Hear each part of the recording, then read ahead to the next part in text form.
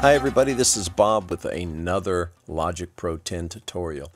In this video, we'll take a look at tuning your kick drum. Now, sometimes you pull in a loop for your kick drum and it's out of tune and out of the key of the song. Let me just play you the track first here, uh, this one section of the song here. Dance, yeah. na, na, na,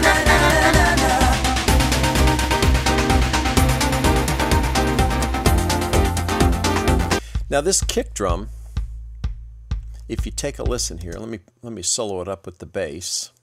Here's the bass. The song was done in the key of C, and here's the kick. You can obviously hear that it's lower.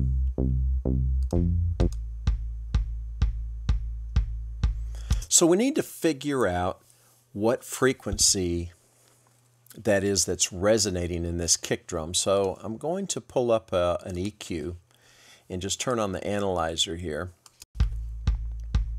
And you can see it's somewhere around 60 hertz. So I'm just going to grab one here and just narrow the Q down as far as it'll go and boost it up and come down here There it is right there. It's 50, the frequency is 55. So let me go to a chart here that I downloaded off the internet. You can just do a search for bass frequencies or frequencies and you'll find something like this. So here's my chart and it's going to show me that 55 here is the uh, note A. So the problem is my song's in the key of C. And so if I go I don't want to go down to this C here that's too low. So I want to keep it somewhere around 60 to 80 hertz, somewhere around there. So if I want to go up to C, I can see that 65 or 66 in that range. So if I go back over to my EQ and just simply try to take it and tune it, um, well, let's see what happens here. Now I'm going to pull this up to 65. We can see that I moved the fundamental frequency up to 65, but now the kick drum is out of tune with itself. So sounds bad, right? So obviously, that's where it's resonating is at 55 hertz, and that's that A note. So I need to use a pitch correction plug-in. Let me grab one here. Now I'm going to use this pitch shifter and just to show it to you that um, you might want to try this. Uh, I'm trying to go from A to C, so I need to go up three semitones, right? If I go one, two, three, I've gone in a positive direction. This goes negative and positive. You can try that. Um, I get some strange artifacts with this, but it really kind of depends on your on your kick that you're using. So select it to drums go up to 100%, and then I move it up three semitones. But um, I'm just going to use one that I've had the most success with. Like I said, this um, created some artifacts that I, I didn't have a lot of success with that one. So I'm going to go over and select the pitch correction plugin, and that looks like this. So I'm going to pull the response time down to zero, and each one of these highlighted notes is what it's going to correct to. So I'm just going to turn them off. But I'm not trying to tune a bunch of notes. I only want my kick drum to snap to C. So it's at A now, I want to snap to C. So let's see how this one works. Okay, I need to move. It didn't, I didn't see anything on the equalizer because the pitch correction was after the equalizer. So there we go. Now you can hear that it's really dissonant because I've pulled up 55 hertz, but now it's tuned to C, which is 65. So let me move this over to 65.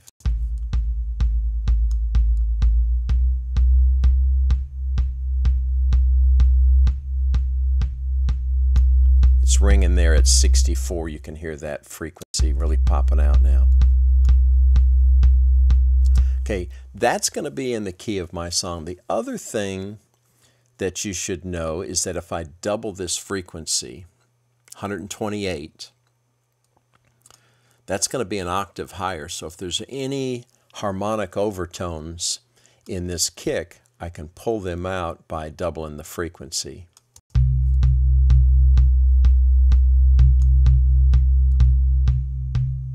So I pulled down the fundamental frequency and now I've gone an octave higher and you can hear that's 128.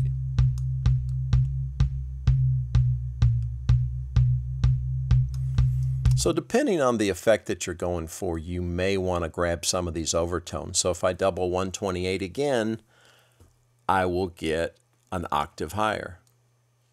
So you can play around like this.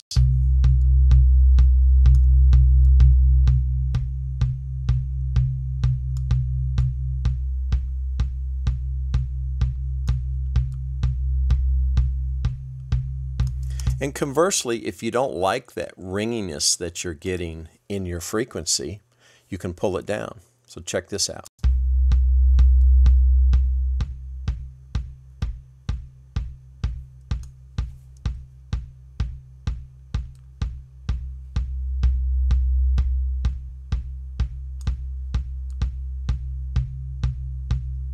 So I'm going to try tuning it about like so, and let's see how it sounds in the track now.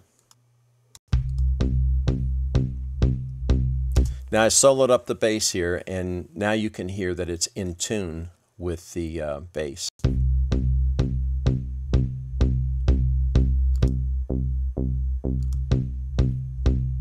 If I take my pitch correction plug-in off, check it out. Sounds bad, doesn't it? And here's the pitch correction back on. And here it is in the track. Dance, yeah. na, na, na,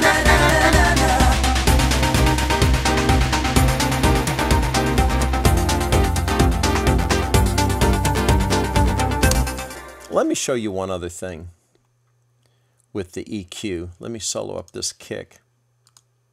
In addition to the fundamental and some of these overtones. And then feel free to just keep doubling this frequency and play with some of these overtones. It's going to depend on your kick drum as to what you can pull out of there.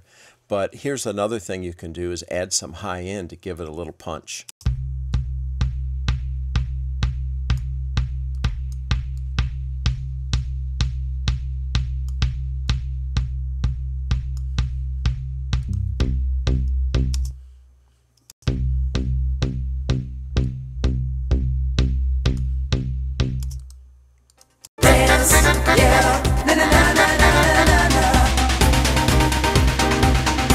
So there you go, a great way to tune your kick drum using the pitch correction plug-in and then um, using your frequency analyzer in your EQ and then pull out some of those um, harmonics in addition to the fundamental frequency. Have fun with that. Hope you enjoyed the video. Please comment and subscribe and I'll see you next time. Dance, yeah. na, na, na,